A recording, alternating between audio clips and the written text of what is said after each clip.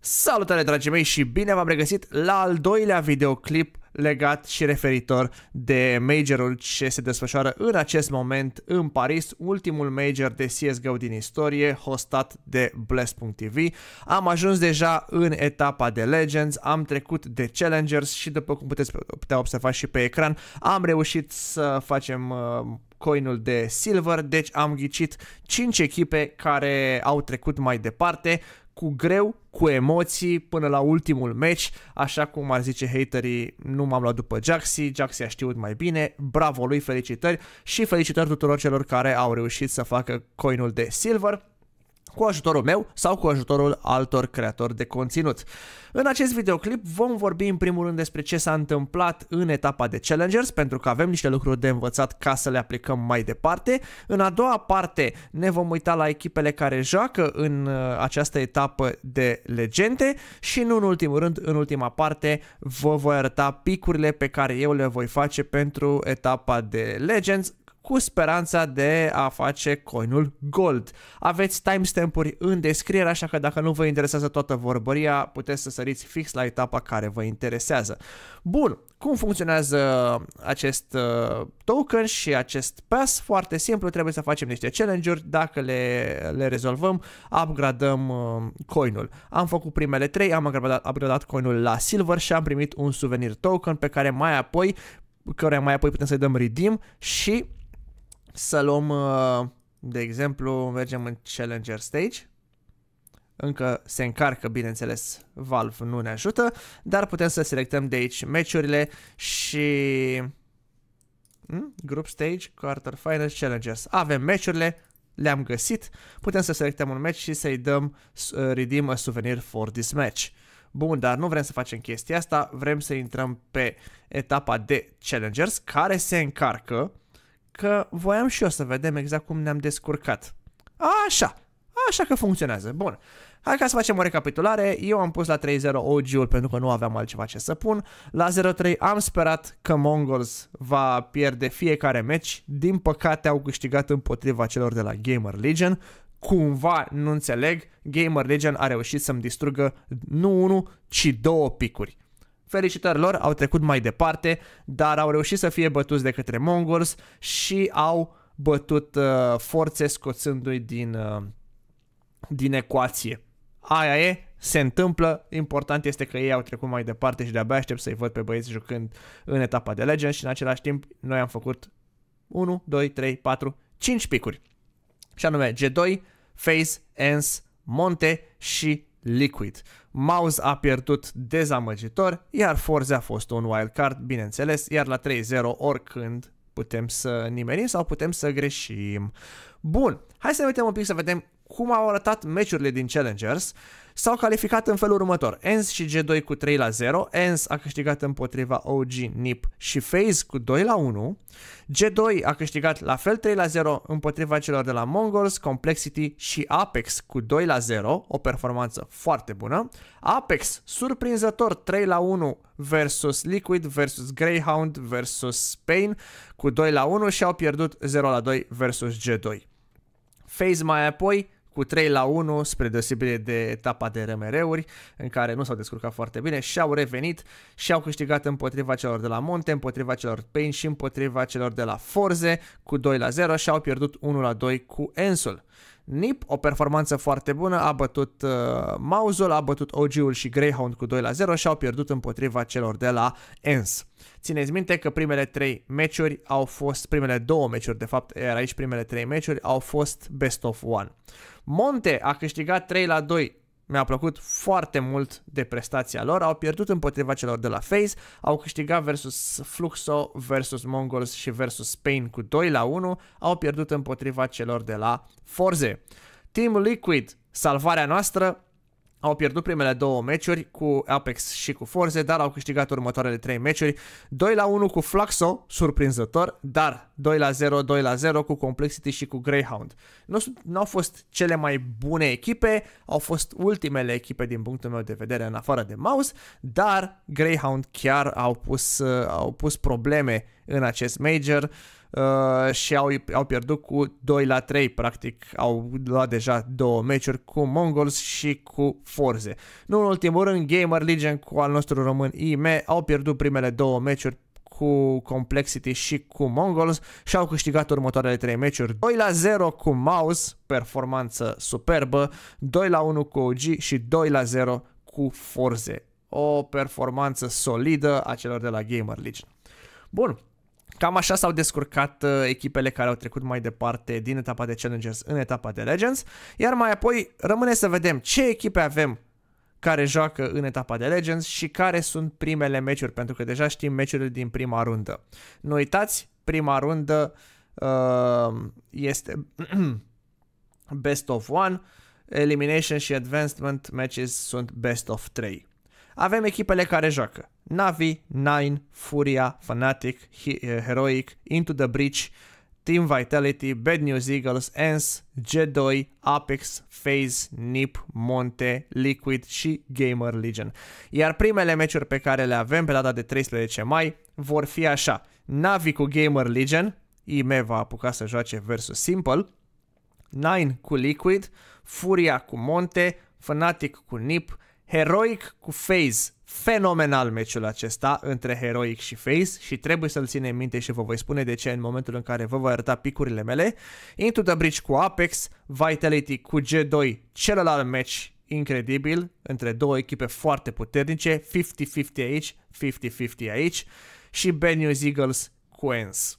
Astea sunt primele meciuri și de aici putem să ne facem niște idei despre cine ar putea să facă 3 la 0 și cine are șanse să facă 0 la 3.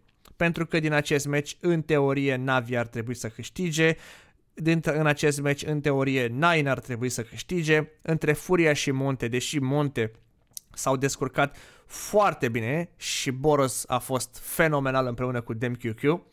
Uh, Furia însă are experiență și a avut o prestație solidă în RMR-uri, deci din punctul meu de vedere Furia ar trebui să câștige acest meci, dar va fi best of one, așa că orice se poate întâmpla, iar Monte a arătat că poate să joace la un nivel înalt. Între Fnatic și NIP, teoretic NIP ar trebui să câștige, Fnatic deși s-a calificat cu 3 la 0 în RMR-ul Europe A, Uh, aceștia au câștigat împotriva celor de la B8, Viperio și One Win, cel mai ușor line-up din RMR-uri. Heroic cu FaZe este 50-50, se poate întâmpla orice. Heroic a arătat că sunt o echipă super, super puternică. În același timp, FaZe, deși s-au calificat greu în acest major și erau cât pe ce să rateze acest major, s-au calificat, iar în faza de uh, challengers au făcut chiar, uh, chiar o fază bună. Deci e posibil ca cei de la FaZe să se înregimenteze și să le pună probleme celor, celor de la Heroic, dar din punctul meu de vedere un pic mai mari șansele să câștige cei de la Heroic. Into the Bridge cu Apex, Into the Bridge a făcut 3 la 1 în grupa A din RMR-uri versus Sprout, Virtus Pro și B8 cu 2 la 1 în B8 și au pierdut versus Navi pe când Apex au arătat că sunt foarte puternici. Deci, din punctul meu de vedere, aici Apex ar trebui să ia meciul. Vitality versus G2. Un clash al titanilor între G2 cu Monesi și Nico și Vitality cu Zaiu pe teritoriul nativ în Franța. Deci Vitality vor fi din ce în ce mai motivați, odată cu trecerea meciurilor, să treacă mai departe și să demonstreze că pot să câștige un titlu pe pământ propriu. Deci va fi foarte, foarte dificil. N-am nici cea mai vagă idee cine ar putea să câștige dintre acești doi, aceste două echipe. Posibil G2, posibil Vitality. Anyway, ultimul match va fi între Bad News Eagles și ENS. Bad News Eagles care au făcut 3 la 1 RMR-uri versus Apex versus FaZe 2-0 și au pierdut versus One Win. Ceea ce spune destul de multe. O echipă strong, dar au câștigat versus Apex într-adevăr best of one și versus o echipă FaZe care nu a fost la capacitate maximă. 2-0 însă. Și un loss versus o echipă care nici măcar nu s-a calificat și anume one win. Aici aș zice că va trece ENS mai departe. Bun, acestea fiind spuse, hai să trecem în joc și să vedem exact ce facem și cum alegem picurile. Vom merge la Legends, iar acestea sunt echipele pe care trebuie să le alegem. Deja am vorbit despre ele, mai avem 17 ore și 19 minute la momentul înregistrării acestui videoclip, deci trebuie neapărat să le alegem. Hai să ne aducem aminte un pic care sunt, uh, care sunt meciurile importante. Avem două meciuri cu Vitality și G2 și celălalt meci între uh, Furia și dacă, nu între Furia, doamne, între Phase și Heroic. Deci, să punem oricare dintre aceste patru echipe la 3 la 0, deși sunt foarte puternice, este un gamble mult prea mare. Prin urmare, Heroic cu siguranță va trece mai departe, Vitality ar trebui să treacă mai departe, G2 va trece mai departe și sper că și FaZe va trece mai departe. Ar trebui să treacă. N-am cum să nu-l pun aici. Au început să joace din ce în ce mai bine cu fiecare meci în parte. Rămâne să mai găsim încă trei echipe care vor trece mai departe, o echipă la 3 la 0 și o echipă la 0 la 3.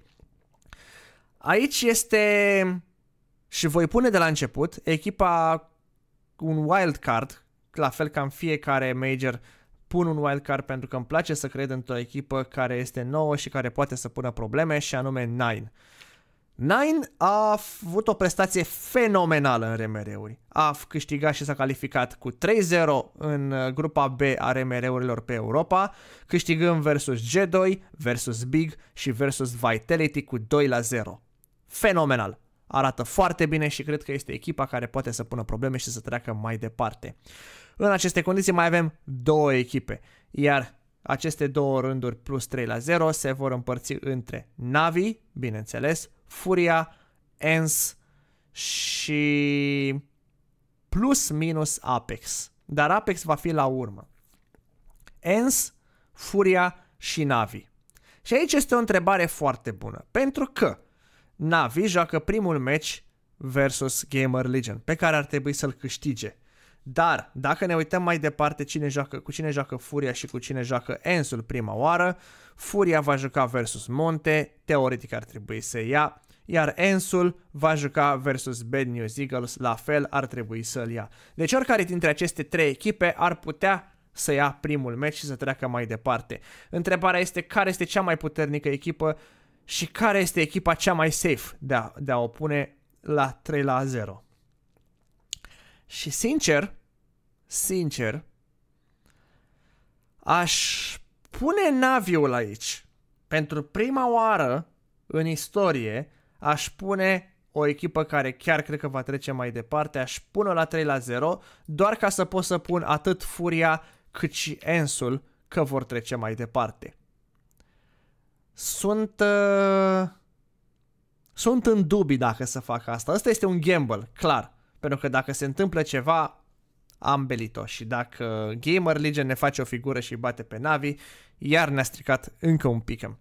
Alternativa ar fi să pun Ensul la 3 la 0 și Navi jos aici. Încă mă gândesc, nu știu sigur, Furia ar trebui să treacă mai departe, dar nu cred că va putea să facă chiar 3 la 0 însă atât Ens cât și Navi cred că ar putea să facă 3 la 0.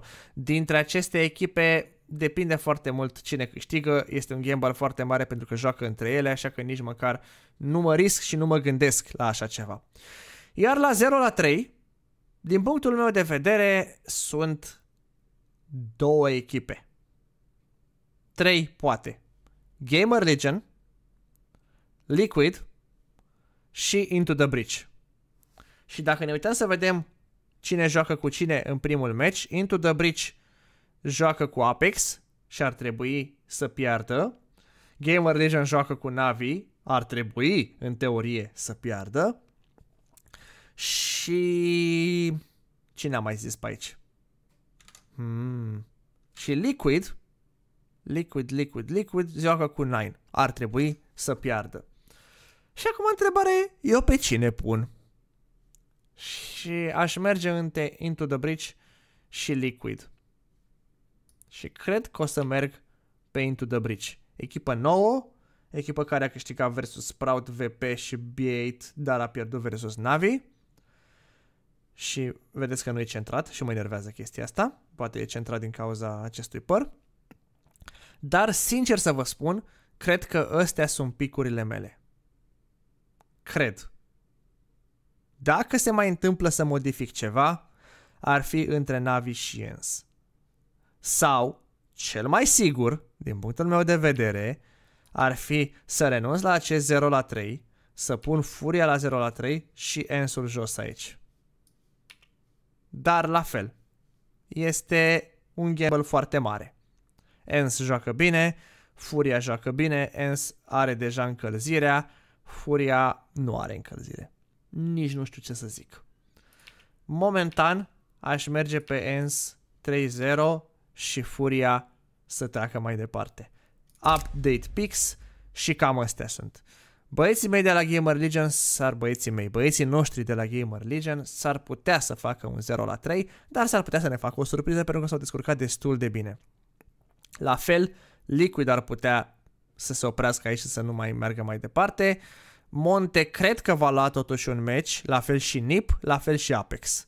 Bad News Eagles, tot timpul au fost Bad News Eagles și nu mă bazez pe ei, iar Fnatic ar putea să facă 0 la 3, au jucat versus echipe slabe, nu știu ce să zic, ar putea și Fnatic să, fie, să fie la 0 la 3, dar totuși nu mă bazez, mă bazez mai mult pe faptul că au mai multe experiențe și că poate, poate, poate iau și un meci.